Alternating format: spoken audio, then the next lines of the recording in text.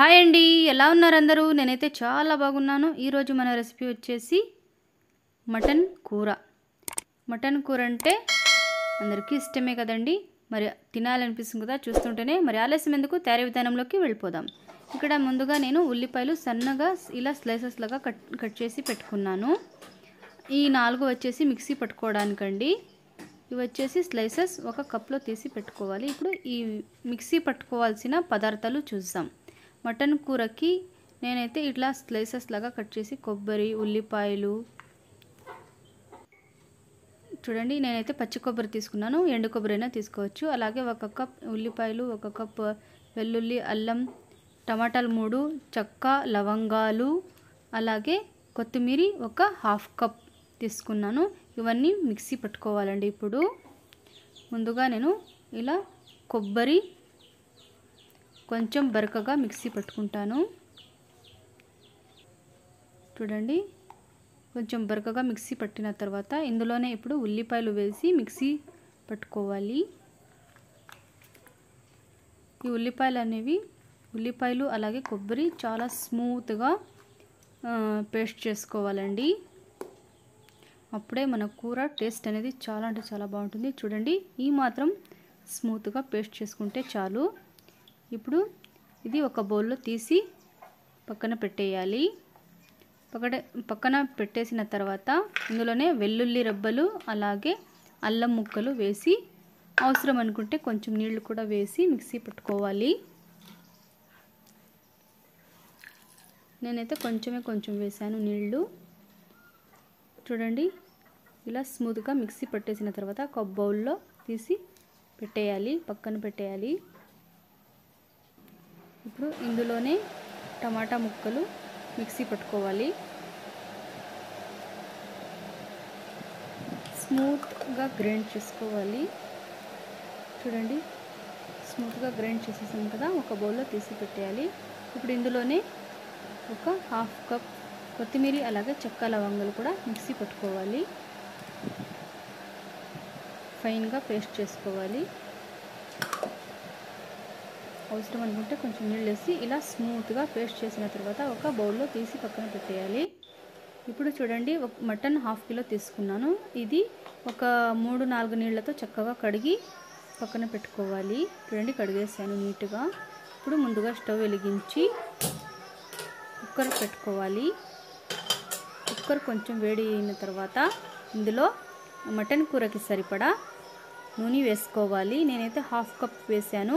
మీరైతే one cup full oil వేసుకోవచ్చు. ఎంత ఆయిల్ వేస్తే అంత టేస్టీగా ఉంటుందండి మటన్ కూర అనేది. ఆయిల్ వేడెక్కింది. ఇప్పుడు ఆనియన్ స్లైసెస్ ఉల్లిపాయ ముక్కలు వేసేస్తున్నాను. ఈ ఉల్లిపాయ ముక్కలు అనేది దోరగా బ్రౌన్ కలర్ వచ్చేదాకా వేపుకోవాలి. చూడండి ఇంత చక్కగా బ్రౌన్ కలర్ వచ్చేసాయి కదా. ఇప్పుడు అల్లం వెల్లుల్లి పేస్ట్ వేసుకుందాం. అల్లం వెల్లుల్లి పేస్ట్ వేసేసాను కదా. చక్కగా పచ్చి వాసన పోయేంత వరకు నూనెలోనే వేపుకోవాలండి ఇలా చక్కగా అడగంటకుండా కలుపుతూ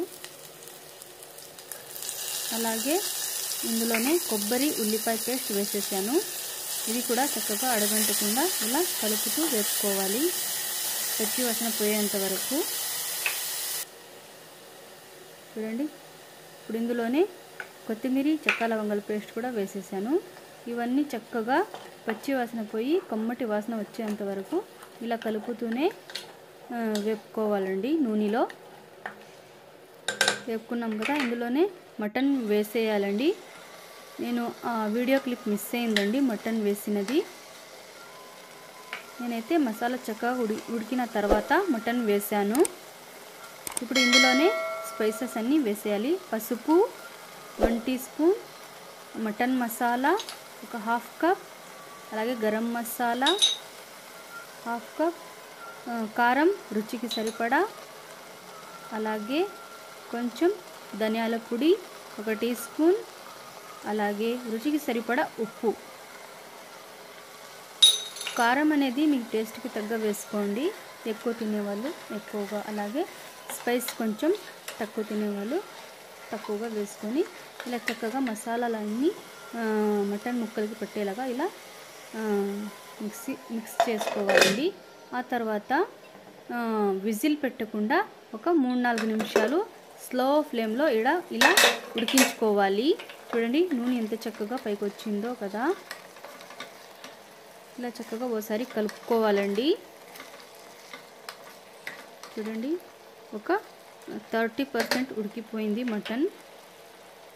ఇప్పుడు ఇందులో టమాటా పేస్ట్ వేసేసి మరోసారి చక్కగా కలిపి మిక్స్ చేసుకొని ఇలా చక్కగా మిక్స్ చేసుకొని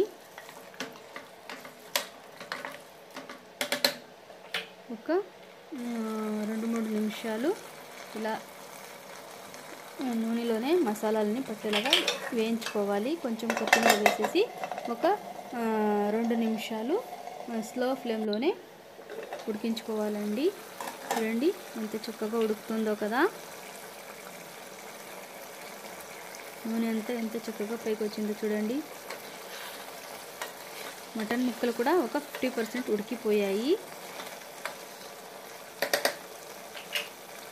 ఇప్పుడు ఇందులోనే మన మటన్ కూరకి సరిపడా నీళ్ళు వేసుకోవాలి. నేనైతే ఒక గ్లాస్ నీళ్ళు వేసాను. చూడండి. మీరైతే అంత పల్చగా కాకుండా అంత చిక్కగా కాకుండా నీళ్ళు అనేది చూసుకొని వేసుకోవాలండి. అలాగే మిక్సీ జార్ కడిగిన నీళ్ళు కూడా వేసేసాను. అలాగే కొంచెం కొత్తిమీర కూడా వేస్తున్నాను. వేసాక చక్కగా ఓసారి ఇలా కలుపుకున్న తర్వాత చూడండి గ్రేవీ సరిపోయిందండి. అలాగే ఉప్పు సరిపోయిందా లేదా అనేది ఒకసారి చెక్ చేసుకోవాలండి. నాకైతే ఉప్పు సరిపోయింది. ఇప్పుడు మూత పెట్టే చూడండి లబ్బర్ వేసుకోలేదు. ఇప్పుడు చూడండి కుక్కర్ మూతకి లబ్బర్ చక్కగా వేసి మూత పెట్టాలండి. ఎప్పుడైనా సరే మూత పెట్టేసిన తర్వాత విజిల్ పెట్టాలి. నేనైతే మూడు నాలుగు విజిల్స్కి పెట్టేస్తున్నాను. మూడు నాలుగు విజిల్స్ అయిన తర్వాత చూద్దాం. హై ఫ్లేమ్లోనే పెట్టాలండి. ఇప్పుడు హై ఫ్లేమ్లో పెట్టేసాం కదా. ఫోర్ విజిల్స్ అంటే నాలుగు విజిల్స్ వచ్చే వరకు ఇలాగే హై ఫ్లేమ్లో పెట్టి ఉడికించుకోవాలి. ఫోర్ విజిల్స్ అయిపోయాయండి. స్టవ్ ఆఫ్ చేసేస్తాను. ఇప్పుడు కుక్కర్ మూత తీసి చూద్దాం. వావ్! చూడండి మన మటన్ కూర ఎమ్మి ఎమ్మిగా ఎలా రుచిగా తయారైందో కదా! నూనె కూడా ఎంత చక్కగా విడిసిందో కదా! చూడండి ఆ గ్రేవీ మటన్ ముక్కలు చక్కగా ఉడికిపోయాయండి. గ్రేవీ కన్సిస్టెన్సీ కూడా చాలా పలుచగా కాకుండా అలాగే చిక్కగా కాకుండా కరెక్ట్గా సరిపోయిందండి. ఇప్పుడు సర్వింగ్ బౌల్లో సర్వ్ చేసుకుందాం. చూడండి ఎంత ఎమ్మిగా కనిపిస్తుందో కదా. మరి మీ ఇంట్లో కూడా మీరు సహా ఇలా తయారు చేసి మీకు ఎలా కుదిరిందో కామెంట్ రూపంలో రాయండి. అలాగే కొత్త వాళ్ళు ఎవరైనా చూస్తున్నట్లయితే ఈ వీడియోని సబ్స్క్రైబ్ చేయండి మీ ఫ్రెండ్స్కి షేర్ చేయండి అలాగే లైక్ కూడా చేయండి. చూడండి ఎంత ఎమ్మీగా కనిపిస్తుందో కదా. ఇది రాగి ముద్దలో అయినా వేడివేడి వేడి వేడి అన్నంలో అయినా బగారా రైస్లో అయినా అలాగే చపాతీలో అయినా దోశలోకైనా ఎందులోకైనా సూపర్గా అంటే సూపర్గా ఉంటుందండి. ఇదైతే చాలా ఈజీ అండ్ క్విక్గా చేసుకోవచ్చండి. అలాగే మీరు కనుక కొత్త వాళ్ళైతే వెంటనే సబ్స్క్రైబ్ చేసుకోవడం మాత్రం మర్చిపోకండి. Thanks for watching